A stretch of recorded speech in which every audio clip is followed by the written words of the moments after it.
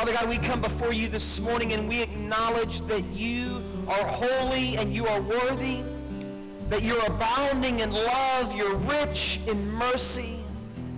And God, you are overwhelming with generosity. That God, you would see us, you would find us in our plight, in our condition, in our sinfulness. And God, you chose to redeem us by sending the perfect, spotless Lamb of God to be born of a virgin, not to sit on an earthly throne, but to live within us. God, we are so grateful this morning. God, may you remind us today of the significance of Christmas and the reality of your generosity. And we pray that in the name of Jesus. Amen. Amen. You could be seated this morning. Well, I am glad you are here. Uh, if you're using YouVersion, the Bible app, today's notes are not there for you. Um, YouVersion is available. You can submit prayer requests on, by the way, our kiddos, y'all are free to go with Pastor Charles and Miss Tierra if you'd like. In YouVersion, the live component this morning, you can still submit prayer requests. You can do your online giving. You can connect with us on Facebook, on the YouVersion app. You can also sign up for our email newsletter each week. And so that's all still there. But last night, during our time of worship, um, the Lord just prompted me to just do something completely different. And so this morning, um, the message is different. It's not what's in your notes. In fact, um, beware, I have no notes, okay? And so I'm just going to trust the Lord, and you do the same. And we're going to, to come to this place of remembrance. We're going to celebrate the Christ child we're also going to just marvel at the generosity of God. Over the last few weeks, I've taken you on a series of messages called The Generosity of God. We said that there are several benefits to our generosity. Um, one of the benefits, um, people often, people often express gratitude for our generosity. And um, all this week in the 12 days of Christmas, people have expressed their gratitude because of your faithful generosity. When we're generous, it puts on display to the world those things which are most important to us. And so um, being generous says, hey, Jesus means an awful lot in my life. Um, generosity also ultimately pleases God. And so we, we've talked about that. We also talked about the reality that in Exodus chapter 13, um, God said to Moses, Moses, I want you to sacrifice the firstborn. The firstborn of all your, your livestock. I want you to sacrifice it. But if it's unclean, if it's unclean, like a donkey, and I don't know about you, but I identified really well with that donkey. Remember what we oftentimes call a donkey? I won't do it this morning, but you, you follow me right? It doesn't take too long for me to become a donkey uh, in my life. And so it says, take and redeem the donkey with a lamb, with a lamb. And, and I want to remind you, what is it that we call the baby Jesus? He is the Lamb of God who came to redeem us. And so we've been talking about generosity. We've been a generous church. We've done the 12 days of Christmas. And today, we have the privilege of partnering with other churches in our city to declare the gospel through Radical Christmas. And so before we, before we wrap up the 12 days of Christmas, before we do Radical Christmas, before you gather around your tree this year and you open presents and, and you get involved in all the, the the um, nuances of Christmas and Christmas lunch and all those things, I thought this morning it just might do us well to remember why we're generous. Why will we work and serve at Radical Christmas today? And so if you have your Bibles, turn with me to Luke chapter 2. Luke chapter 2, this morning.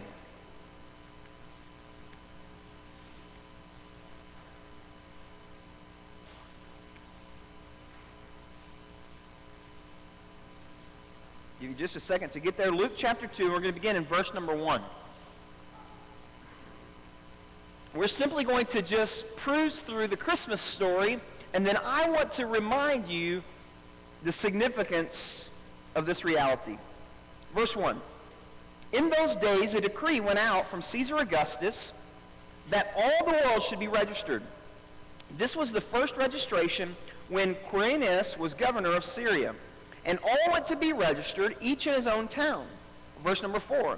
Joseph, he also went up from Galilee, from the town of Nazareth to Judea, to the city of David, which is called Bethlehem, because he was of the house and the lineage of David, to be registered with Mary, his betrothed, who was with child.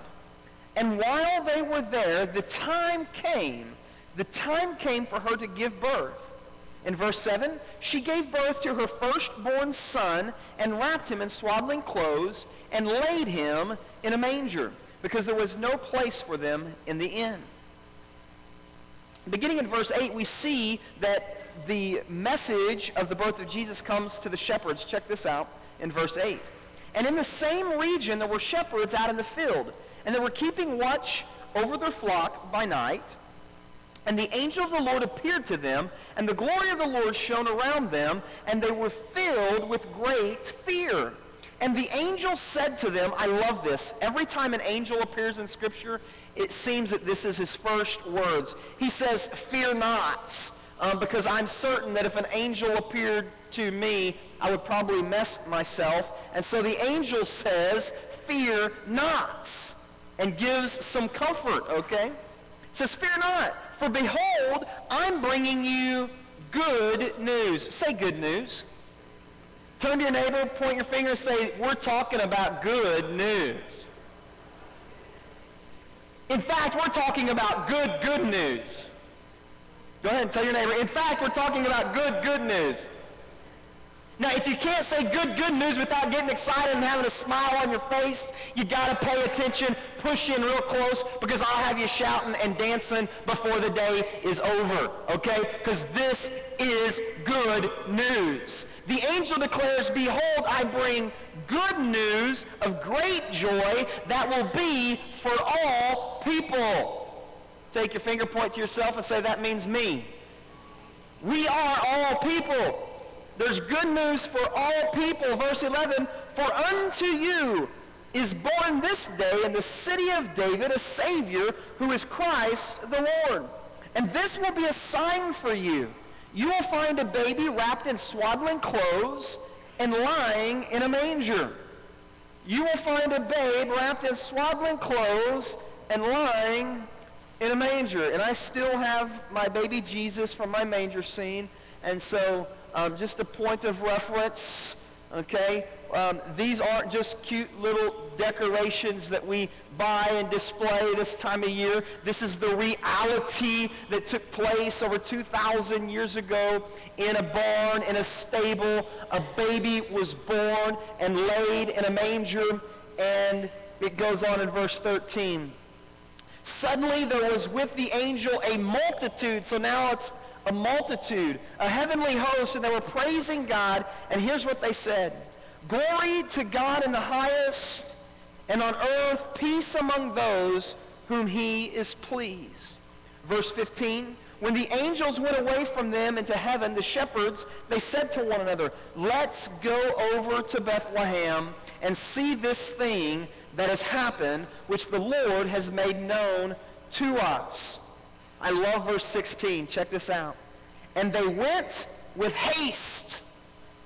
They wasted no time. They understood the significance. They understood the magnitude of the good news that was applicable to them. They wasted no time. They immediately went to Bethlehem and to see this thing that the Lord has made known to us. Verse 16.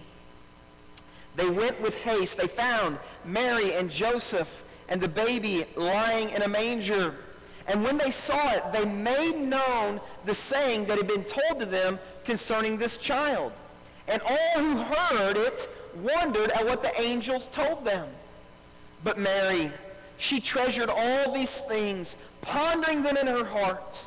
And the shepherds, they returned, glorifying and praising God for all that they had heard and seen, as it had been told to them. Verse 21, and at the end of the eight days, when he was circumcised, he was called Jesus. Jesus. Jesus. There is power in the name of Jesus. If you don't believe me, while you're having Christmas conversation this week, insert the name Jesus in the conversation and see how incredibly uncomfortable people become when you say Jesus. There is power in the name of Jesus, power to change and to transform lives, the power to bring hope in absolute utter desperation. There is power in the name of Jesus. He was called Jesus, the name given by the angel before he was ever conceived in the womb. That is the Christmas story. But let me just say this this morning. I've encouraged you over the last few weeks, hey, let's become a generous church. Why? John 3.16, it's familiar for all of us. For God so loved the world, that's you, that's me, that he did what? That he gave. Say gave. For God so loved the world, he gave. What was it that he gave? He gave Jesus. He gave Jesus. Now, this is significant, and I want to unpack this for you. It's not that we need your stuff. It's not that we want your finances. It's not that Jesus needs your stuff. It's the reality that he gave, and we're most like him when we too give. It's not about your stuff. It's not about your money. It's about your heart. It's about your heart. And so I think it would do us well this morning before we endeavor to give away another thing today. Before we dare exchange gifts and pleasantries around the tree, that we consider the magnitude of the gospel and the Christmas story. In Romans chapter 3, verse number 23, Romans 3.23, it says this, For all have sinned for all have sinned, and I love doing this. Somebody give me the definition of all. Everybody. All. Everyone. That includes your mama, your daddy, your great aunt and uncle, your boss, your co-worker, your mother-in-law, your father-in-law, your children. Everybody. For all have sinned and fallen short of the glory of God. That's all of us. And so here's the thing I love about Christmas it reminds us all of our starting point. We all, I don't care what your background is. I don't care what your resources you have available to you are. I don't care if you have a small Christmas, a huge Christmas. I don't care if you're a turkey person or a ham person. I don't care where you come in today with perspective at Christmas. We all start out, listen to me, in need. We all start out in need. And Christmas is all about, generosity is all about identifying a need and coming forth to meet it. You see the term sin in Romans 3.23 where it says all have sinned. That's an archery term.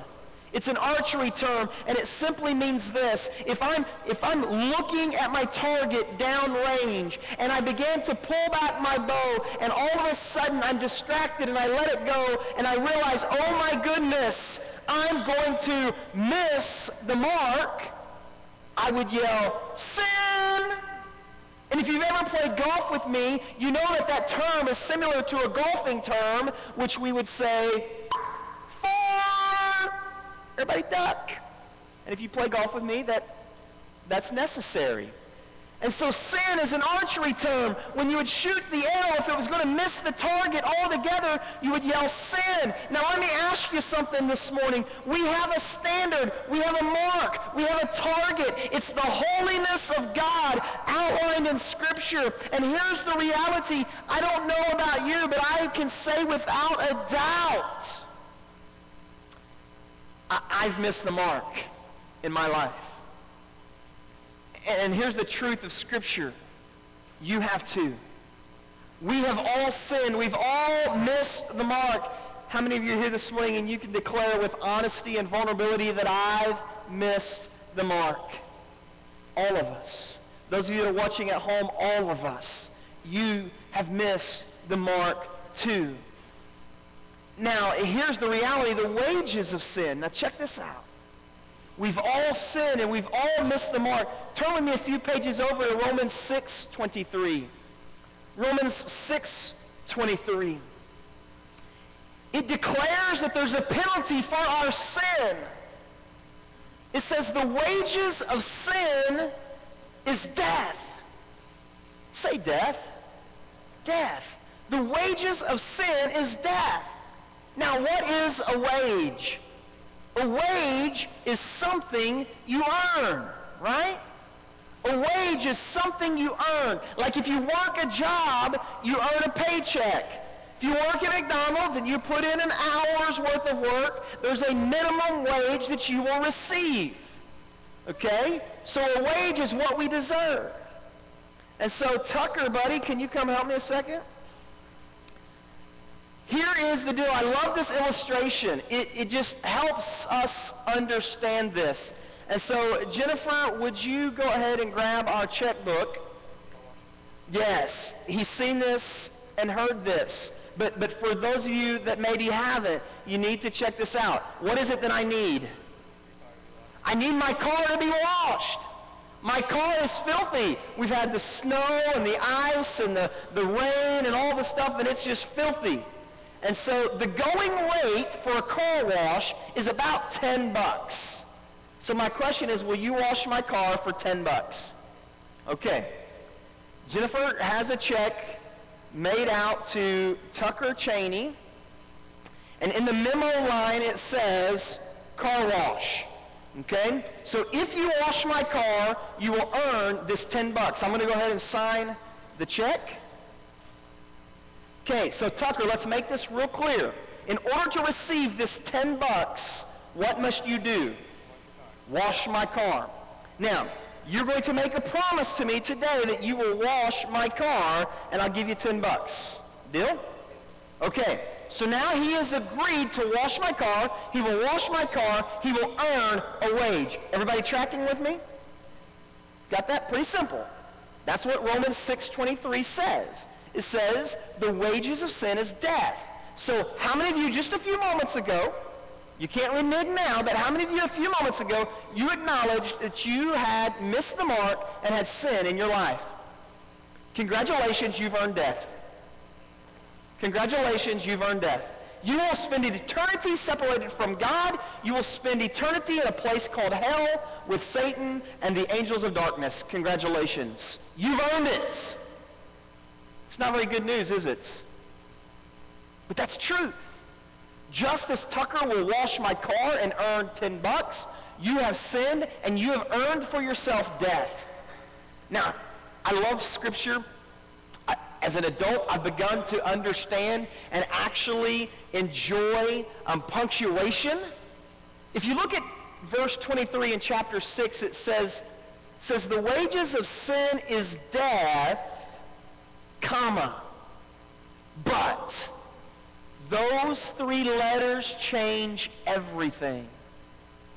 They change everything. That means, that means he's not done. The, the comma is just an abbreviate, it's just a small pause, and, and it goes on to say, but the gift. Say gift. But the gift of God, the gift of God is eternal life. Remember, we serve a God who is rich in mercy, overwhelming with generosity. He is giving an abundance of grace and love and mercy. He says he has a gift. The gift of God is eternal life. Now, those of you that are parents and you've been Christmas shopping, You've got your gifts all prepared to be wrapped or they are wrapped under the tree. What is the condition in which your children must do to receive gifts on Christmas? If it's anything like my house, nothing. They are gifts. Okay? So what is it you have to do to make a gift yours? You simply receive it. Say receive it. Now check this out, Tucker. Here on the memo line it says car wash, right? So as it stands, you have to earn this by doing what? Washing my car. But see, check this out. God is generous. And again, you got to get this. Because some of you, you have this mentality. Listen to me. I've got to get up and go to church. I've got to give an offering. I've got to be generous at Christmas. I've got to go to Radical Christmas. I've got to participate. And some of you, you have that I've got to attitude. Well, check this out. When you understand the significance of the gospel and the overwhelming generosity of God himself through the birth of his son Jesus, you will develop a we get to do this heart and attitude. Now check this out, Tucker. I'm going to do something. I'm going to take my pen and I'm marking through car wash. And I'm just going to write four little letters on this memo line. What are the four letters? What word did I write on the memo line? Gift. Now we're talking because now this is no longer a wage that you have to earn. In fact, all you have to do because it's a gift, Tucker, all you have to do is what? You see, all you've got to do all you've got to do, Tucker, in your life is you've got to take it and you've got to receive it because I'm telling you, it's life-changing. You see, I love this. The generosity of God, it is unconditional. It's unconditional for you.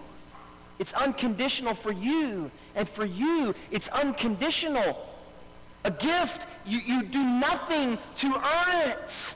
It's because of the generosity of God. And so, Tucker, you can receive the gift.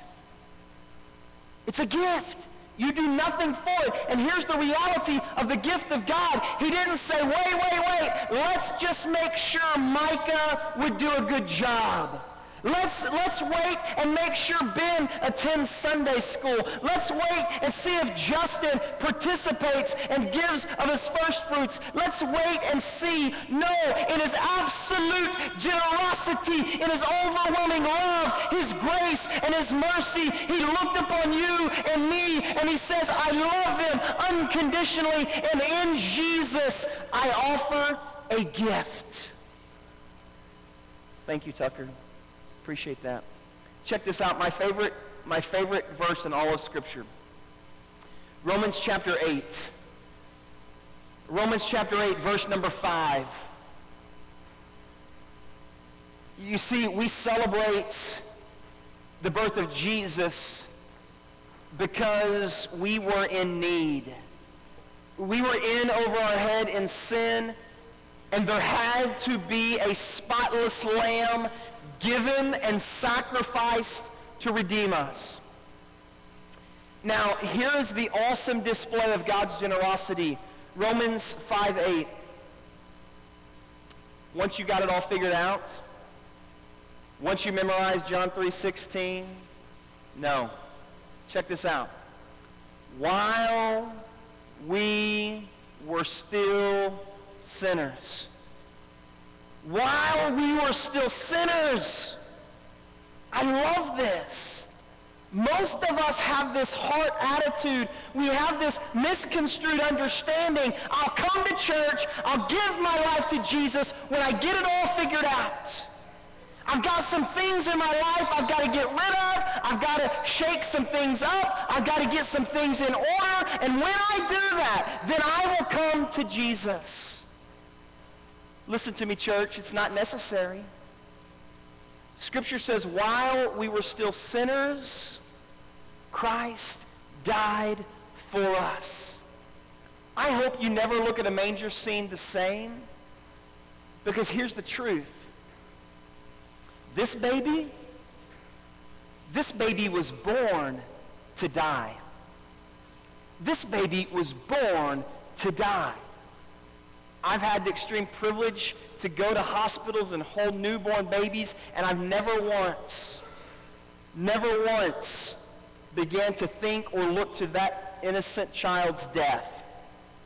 This week, Jessica Pemberton and Brandon, they gave birth to a son, Mason, and I went to see the baby and never once thought, wow, I wonder how he's going to die. He's celebrating his life and his birth. Uh, this morning, uh, Blake and Marty Hickman, who come, they gave birth to a new baby, and when I saw it on Facebook, never once thought, wow, geez, wonder how that baby's going to die. But here's the weight and the magnitude of this baby. Its entire purpose.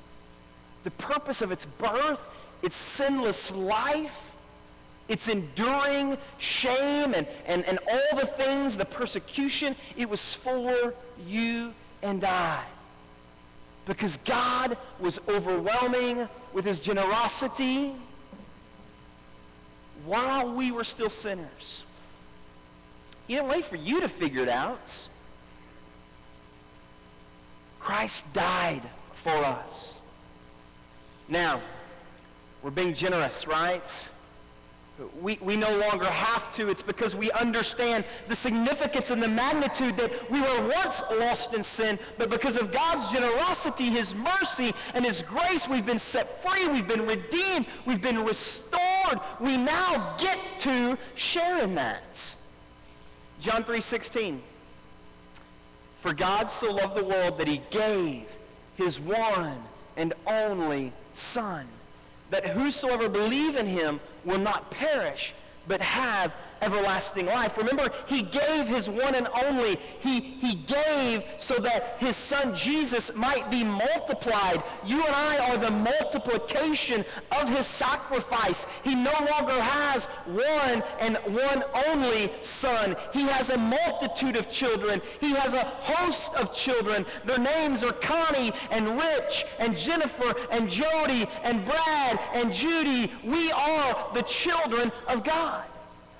Now, you got to understand this, church, because sometimes when you receive a gift, I don't know about you, but when I was in school, I would love to go back to school after Christmas break, and I would uh, have my shoulders all kind of puffed up and my chest out and my chin high, and I would boast a little bit about all the things I got for Christmas. I got the bike that no one else in the city got. Yeah, yeah, yeah, look at me, look at me, look at my gifts, look at what I received. Well, check this out, church. That is our tendency, but you've got to understand something about the gospel. You've got to understand something about sin. We all, we all start at the same place and we all have the free gift of salvation accessible to us. We love John 3.16. Sometimes we, we forget about 17. Check this out. For God did not send his Son into the world to condemn the world, but that the world might be saved through him. Listen to me. If Jesus did not come to condemn the world, neither should you or I condemn the world. But rather, we should put on display the generous heart of God that says, all are welcome at the table. The birth of Jesus is good news for all people. You got to get it. Otherwise, your generous acts, your generosity, even on your best day, listen to this Scripture says that even on your best day, your good works are like filthy rags. Translation, dirty tampon. On your best days, you got to get it. You got to give out of a generous heart that absolutely captures the generosity of God. So, 12 days of Christmas have been great. Radical Christmas will be great but it's out of the generosity in which we've received that we're able to give. And so this week, as you celebrate the birth of Jesus, may you be mindful of the reality that Jesus came in order that he might die to redeem us. Let's pray. Father, we come before you this morning. God, and I so thank you for the birth of Jesus. God, I thank you that this morning you have brought us to this place of being mindful that, Lord, the good news was delivered to shepherds, common, ordinary people just like us. Your generosity was put on display to normal, average, everyday people. God, we too are recipients of your generosity. God, the good news that we, we've come to understand to be the gospel, the story of the birth, the life, the death, the burial, and most awesomely, the, the resurrection of our Jesus. God, thank you that that good news is still good news. It's still changing lives. It's still bringing about hope and restoration. It's still giving second chances. It's still giving and delivering new beginnings and new outlooks. It's still equipping and qualifying believers for everyday acts of generosity and kindness that might lead to the hope of salvation through the gospel story. God, we are absolutely thankful. And so, God, I pray that as we just examine our own hearts, as we begin to ponder that attitude of we have to, God, may it change this morning to the reality that we get to. We get to partner with you. We get to be generous. We get to point men and women to Jesus. We get to serve one another. We get to do the drive-through difference. We get to love on our teachers. We get to participate in Radical Christmas. We get to offer gifts to our family and our children over the next few days. We get to sit with our family and delight in this season. We get to share the hope of Jesus. God, what a joy and a privilege it is to be called children. Children of the Most High. With every head bowed and every eye closed, in just a few moments, I'm going to ask you to stand.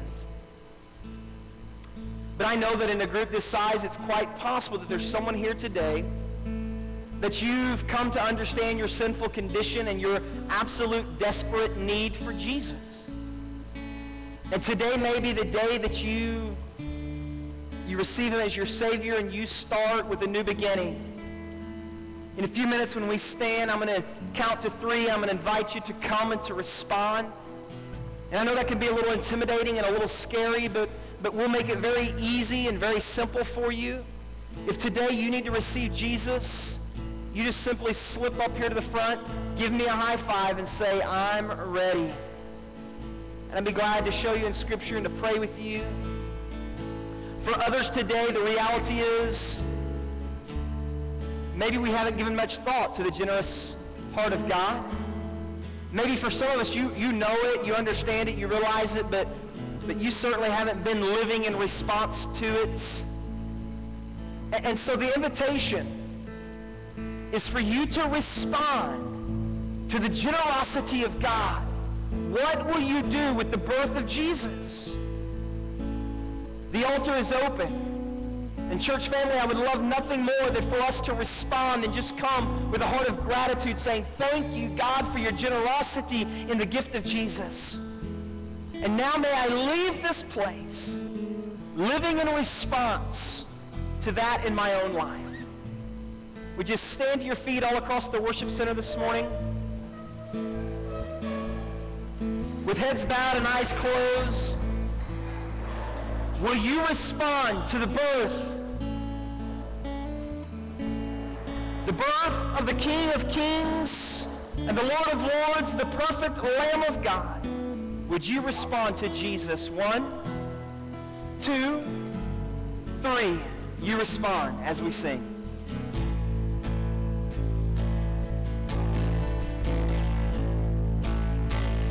Oh, come let us adore. Oh,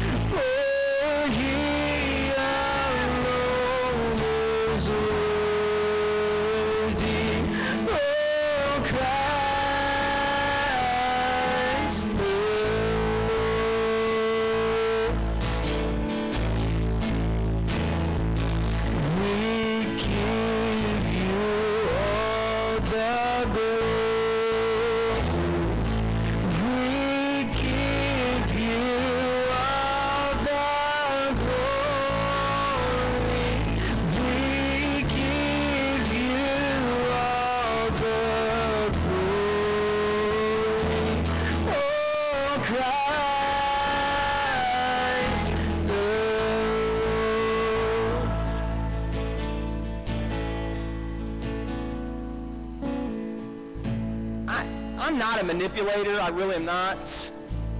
But sometimes I feel like pastoring you people is like herding cats.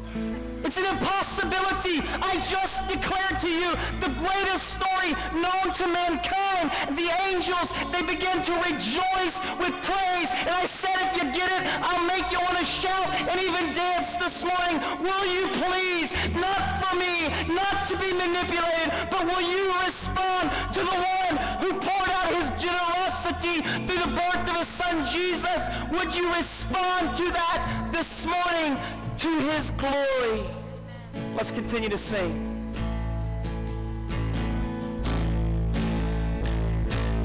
Oh, come let us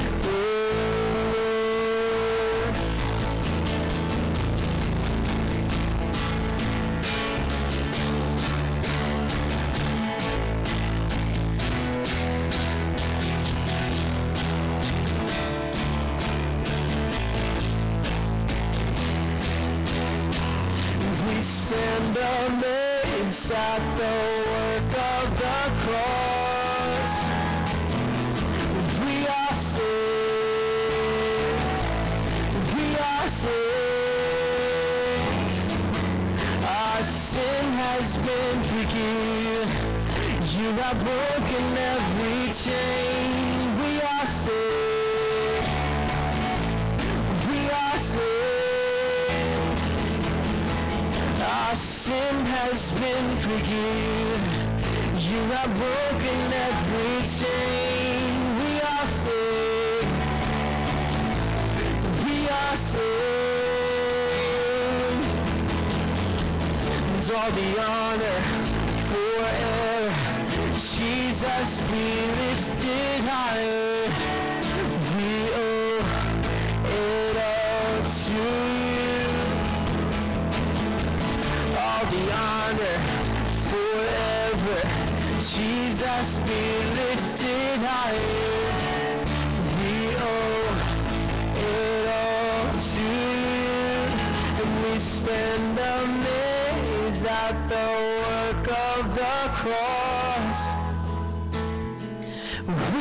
saved. We are saved. Our sin has been forgiven. You have broken every chain. We are saved. We are saved. Yeah, we are saved. We are saved. Guys like good news? We've been celebrating good news this morning. Hey, Tyler, can you come join me a minute? You see, this is what I love about the Christmas story. And this is what I love about generosity. This is my friend Tyler, and he just came this morning, and you know what? The clarity of the story of Jesus and the gospel is just laid out this morning. And this morning, my friend Tyler prayed to receive Jesus as a Savior, and he received that free gift of salvation. Now, I, I love the Christmas story because it just so clearly communicates even to the heart of a child. But church, can I tell you something else? Uh, and, and I truly believe this. And, and his mother, I think, will be a testimony to it. Tyler is here. And Tyler has understood the gospel even at a young age. It's interesting. I think he kind of had the, the uh, cart before the horse, but, but one morning he left here. He gave me a high five going out the door. And what'd you tell me you wanted to be when you grew up? A preacher. And so I knew from that day God has something in store for this young man. And today he understands the significance of the gospel. Um, but, but here's what I think we can say for sure. Tyler's here because of generosity of people of faith. Um, we met his mother through the opportunity for us to give and to be generous.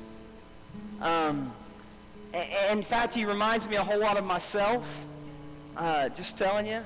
I mean, he is a schmoozer. I love it. Um, and so he's a product. And I could go into detail, but it's not necessary. But just know this. Because of your generosity, and sometimes even when you feel like, well, I don't know if my gift is going to make a difference, whatever that gift is. You received a big old honking Superman this week, didn't you? See, that gift made a difference. It did. And so today, uh, we get to celebrate that. And so we're excited. In fact, I just want to just take a minute. I want to pray for Tyler and uh, just his walk. Um, he, he got it maybe a long time before some of us did. And so um, we're just going to pray uh, with him and for him this morning. And then I'll share some other good news in a minute. Father, I come before you and I thank you for my buddy Tyler. God, I thank you for the Christmas story and the generosity that brings about hope for even someone like Tyler. God who doesn't even know or fully fathom the magnitude, the circumstance, or the consequences of his sin, Lord, here in this life. But God, he knows that he is worthy. He knows that he's redeemable. He knows that the birth child at Christmas was sent for him. And so, God, thank you for that. I pray that we as a church might come alongside and disciple. And Lord, serve along his mom and to, to play the role that the, the body of Christ is called to play. And so, God, today we celebrate the birth of Jesus. We celebrate the new birth of Tyler. And Lord, we absolutely welcome him into the family of God. And we pray that in Jesus' name, amen. Give God a hand one more time this morning. Thank you, man. You can go have a seat.